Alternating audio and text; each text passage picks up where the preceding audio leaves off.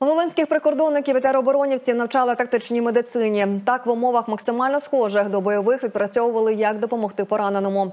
Це, зокрема, для початку знайти його, далі надати першу домедичну допомогу, ну і згодом в польових умовах евакуювати постраждалого до медзакладу.